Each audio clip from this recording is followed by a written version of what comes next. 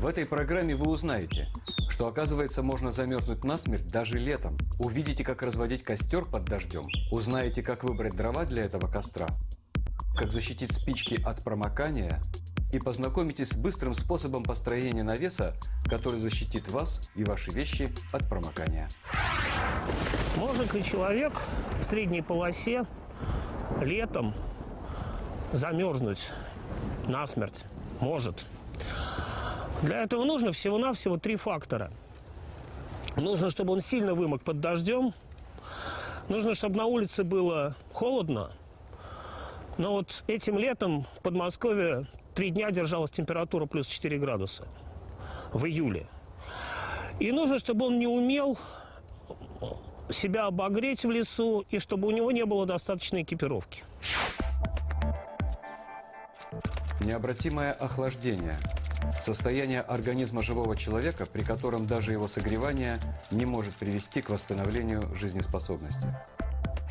Замерзает человек по очень простой причине. Изменяются свойства одежды, которую он на себя надел. Если обычно одежда сохраняет тепло человека, она никогда не греет, она просто сохраняет тепло, то э, когда она намокает, влажность начинает, влага начинает испаряться с поверхности одежды.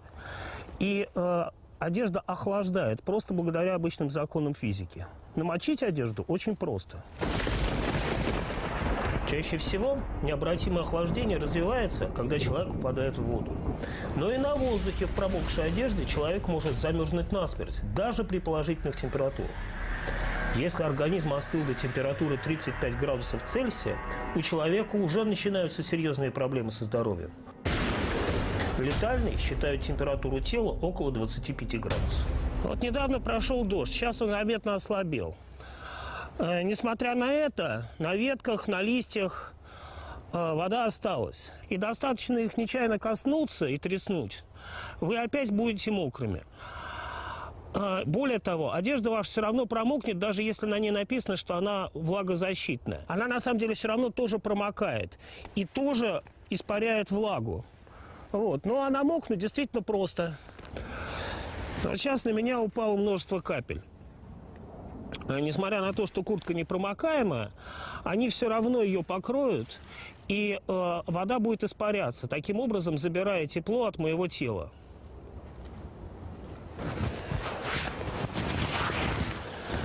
Самым непромокаемым материалом, который придумал человечество, является полиэтилен и его аналоги, полипропилен, там, ну и так далее.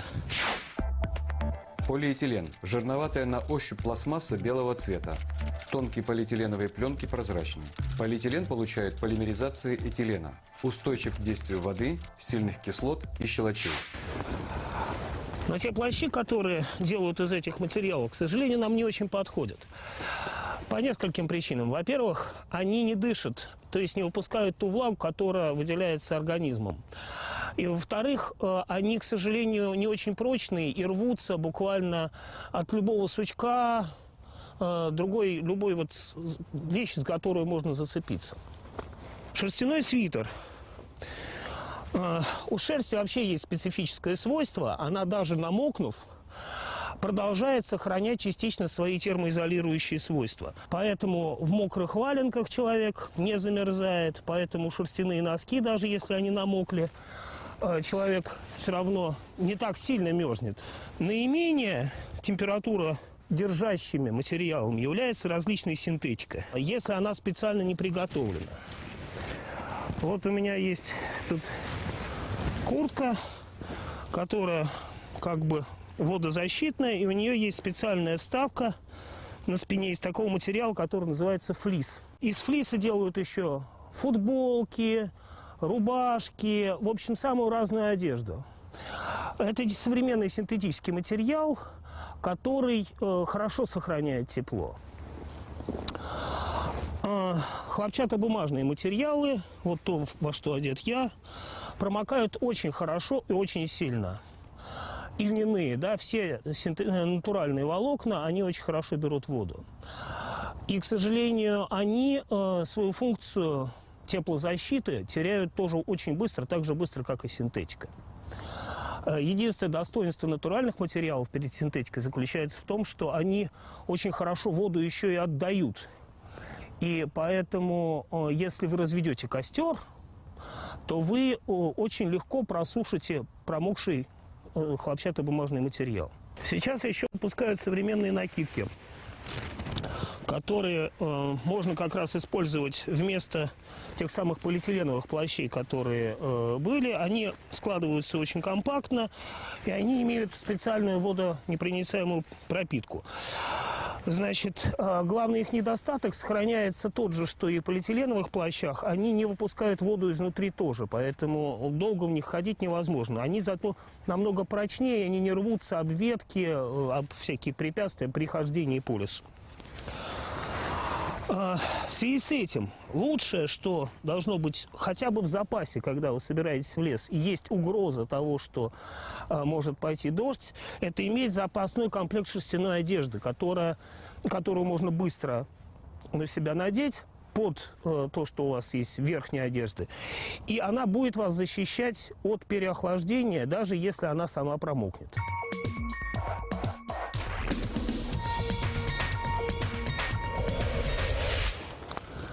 Что же делать, если вы уже промокли и начали замерзать? Каков ваш порядок действий? В первую очередь надо развести костер. Ну, конечно, для того, чтобы развести костер, надо сначала избавиться от лишних вещей и постараться их защитить от воды.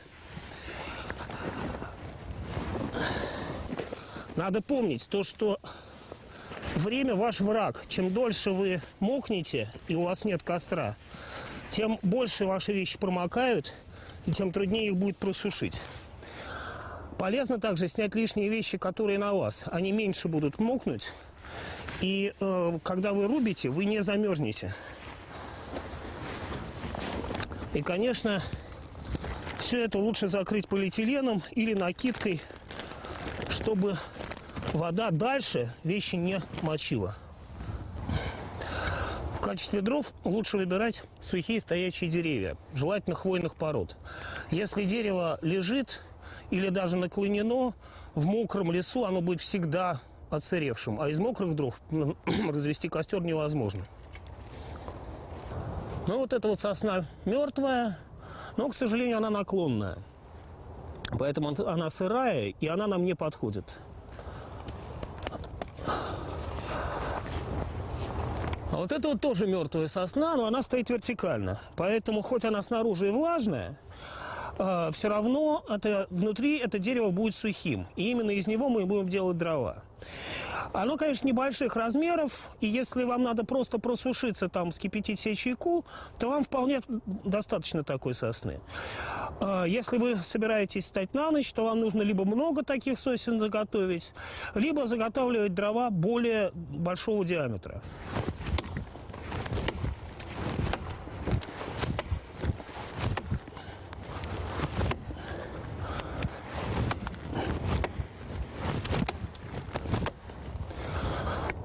Обратите внимание, высота пенька очень невелика. По ГОСТу полагается, что высота пня оставляется не больше двух третей диаметра. Но здесь чуть-чуть выше, но и ГОСТ рассчитан не под рубку, а под пилу. Вторая очень важная вещь. Я бью параллельно по дереву. И верхний, и нижний удары у меня идут параллельно друг другу. Многие туристы делают косой удар – а потом второй удар делают подрубающим. Это не совсем правильно, то есть совсем неправильно. Дело в том, что древесина поперек рубится очень плохо, поэтому это приводит только к лишней трате сил. Ну и по местоположению. Все деревья имеют в природе естественный наклон, небольшой. Не вот когда оно косым стоит, а небольшой наклон имеют. Вот это вот дерево у нас наклонено туда. Поэтому я снизу сначала подрубил с той стороны, куда наклонено дерево, а потом буду подрубать вот здесь чуть выше. Это делается для того, чтобы дерево гарантированно упало в ту сторону, в которую оно наклонено. И никого не зашибло.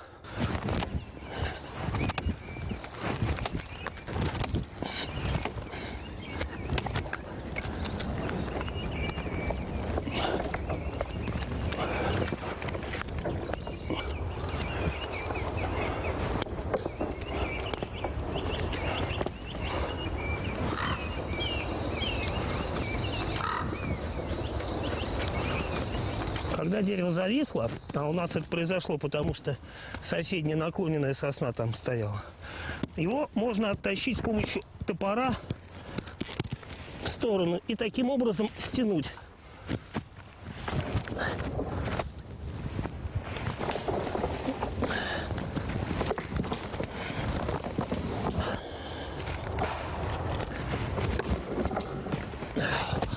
Ну вот и повалили. Для того, чтобы обеспечить нам костер, нам нужно три бревна. Три отруба от этого полена. Ну, вот примерно такой длины. Когда я рублю лежачие деревья, то уже удары идут супротивно, навстречу друг другу.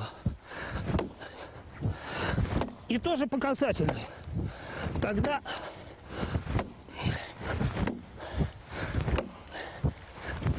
его легче будет разрубить.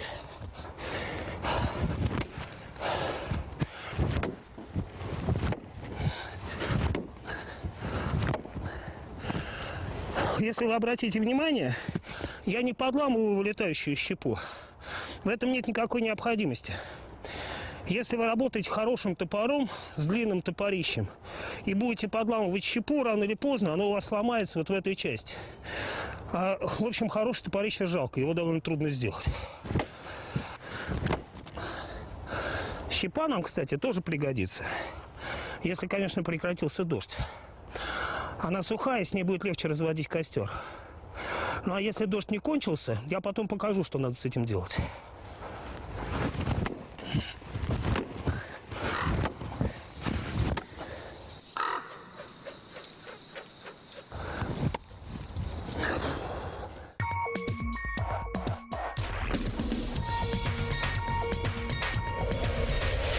Ну вот, дрова нарублены, теперь их надо перетащить и сложить. После чего надо будет разводить костер. Так, для того, чтобы сделать костер таежный, нам нужно сначала расчистить под него место, так, чтобы подстилка, хоть она и мокрая, чтобы она потом не загорелась. Она высохнет очень быстро. И можно устроить лесной пожар. Значит, костер таежный всегда состоит из трех пяти или более бревен. Вниз кладут всегда бревна более тонкие, а сверху кладется более толстое бревно. Потому что нижние бревна быстрее, медленнее прогорают, чем верхние. И вот как раз в этом случае, если дождь не прекратился, именно костер таежный – нас спасет от того, что мы будем долго мучиться с разведением костра. Как это делается? Делается очень просто. Одно бревно, которое самое большое, оно поднимается, опирается одной стороной над тем местом, где будут поджигаться. И с нижней стороны стесывается щепа. Она обязательно будет сухой. А сверху бревно ее от дождя закрывает. И щепа туда падает и накапливается. Вот. Ну, у меня есть еще запас щепы сухой, которую я взял оттуда. Я ее решил тоже сюда добавить. Таким образом, у нас все готово к разведению костра. Иногда бывает такой сильный дождь, что щепу вообще невозможно заготовить. Что же вам может помочь в этом случае? Очень просто. Любая пластмасса. А, это может быть обломок зубной щетки, ну то есть кусок от нее можно отломать. Это может быть коробочка из-под каких-нибудь конфет из пластика. Любая пластмасса, в общем-то, горит, большая часть пластмасс горит. И ее можно поджечь и уже ей потом поджигать костер. Ну вот видно то, что пластмасса легко зажигается.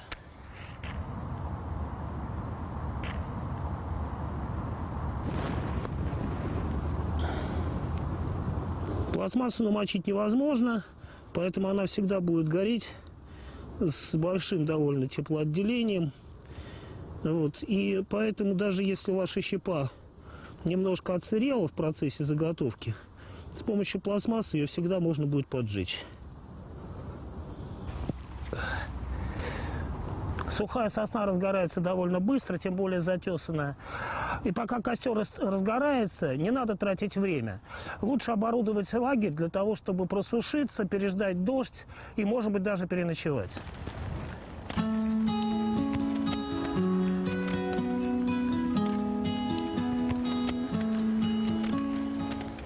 Очень важно то, что промокшие спички уже не спички. У них изменяется химический состав. И всякие детские а, попытки поджечь спичку с помощью высушенную, с помощью того, чтобы потереть об волосы и так далее и тому подобное, не помогают. Ее все равно поджечь нельзя. Как же защитить спички от э, намокания? Первое. Один-два коробка обязательно должны быть упакованы в полиэтилен. Второе. Желательно хотя бы один коробок защитить с помощью парафина. Делается это очень просто. Берется любая свечка, поджигается. И надо дождаться, когда вокруг фитиля накопится достаточное количество парафина, натаявшего, для того, чтобы можно было туда обмакнуть спичную головку. Лучше это все делать, конечно, дома, заранее, чтобы не рисковать сухостью спичек. По очереди все спички берутся и обмакиваются в парафин. Спичная головка должна быть покрыта парафином, остальная спичка не важна. Перед тем, как использовать спичную, э, спички, обязательно этот парафиновый слой снимается об сухую ткань, Э, салфетку сухую или просто с помощью ножа. Это нужно сделать для того, чтобы абразивная поверхность коробка, об которую э, зажигают спичку, которую еще называют черкашом, не засаливалась, потому что если она засалится, то она потеряет свои свойства. Если у нас есть полиэтилен, логично было бы сделать навес для того, чтобы обсушиться, а может быть даже переночевать. Для того, чтобы сделать навес, нам нужно несколько слег. Слеги – это сухие палки, прямые обязательно. Сухие, потому что живое дерево жалко убивать. А, а прямые они нужны для того, чтобы сделать каркас, для того, чтобы натянуть полиэтилен. Ну, давайте мы их посмотрим. Ну вот, вполне прямая, сухая сосна которая нам вполне подойдет для одной из слег, потому что нам уже не важно, чтобы она была вот именно сухая с точки зрения влажности. Она мертвая и прямая. Вот нам ее надо отрубить.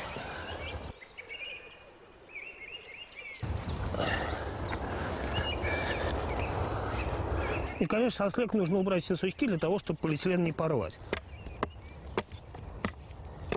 Одна слега должна быть такой длины, чтобы перекрыть просвет между деревьями, а остальные должны быть просто примерно одинаковой длины. Но чем они длиннее, тем лучше на самом деле.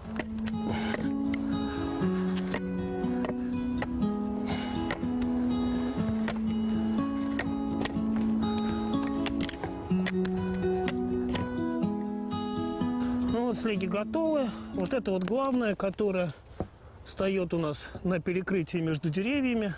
Все остальные будут перекр... укрепляться на нее, опираться. Высота не очень принципиально. В принципе, все зависит от размера пленки. Ну вот, я закрепил на уровне груди. Это, в общем, вполне оптимальный размер. Причем и для стоянки тоже, потому что чем больше высота, тем большего размера нужен полиэтилен. Вот. Один конец привязан и потом сейчас привяжем второй конец. Сейчас он просто в расщепе немножко стоит. А значит дальше мы его совсем закрепим. Все будет в порядке. Ну вот все привязано. Можно идти привязывать другой конец, который у нас пока не закреплен. Вязать можно чем угодно. Вот здесь у меня есть обрезки киперной ленты. Но на самом деле это могут быть шнурки из ваших ботинок. Это могут быть веревочки из рюкзака. А, совершенно не важно, как, какого это цвета, размера и так далее и тому подобное. Конечно, большую веревку лучше на такие вещи не тратить, жалко просто. Это все можно сделать подручными средствами. Вот, все, оно держится примерно горизонтально, больше нам ничего не нужно здесь. Ну, а теперь поставим остальные слеги. Их лучше ставить толстым концом к низу, исходя просто из того, чтобы они меньше давили на нашу э, опорную слегу.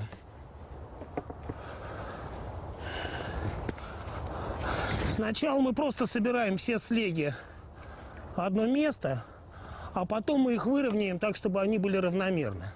Зачем они вообще нужны, такие слеги? Для того, чтобы вода не скапливалась на полиэтилене. Чтобы вода хорошо стекала вниз.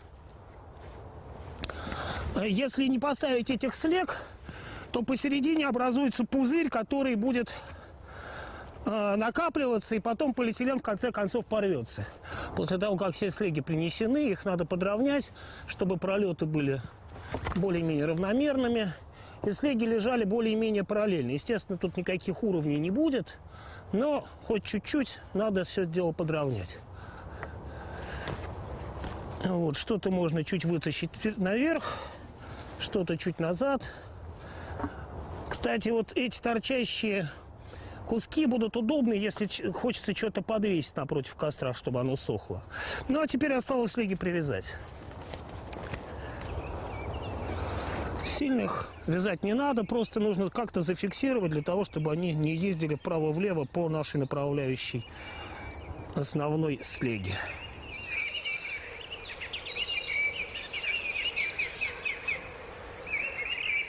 Ну вот и все готово. Главное не делать ниже поперечин, а то они будут перекрывать сток в воде. Пора переходить к полиэтилену. Ну и теперь важно его расправить, более-менее сразу подтянуть и привязать. Достаточно привязать с четырех концов. Самое сложное в этой ситуации – это вот эти концы как-то связать с веревкой, закрепить.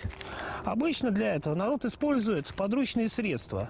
Шишки, можно использовать камушки, можно завязать туда просто спичный коробок.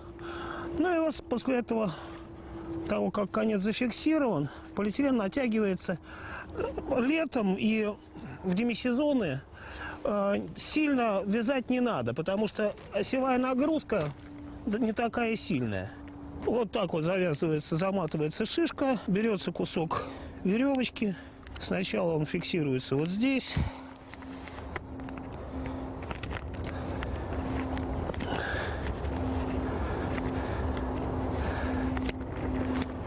А потом к земле можно притянуть любым попавшимся под руку сучком.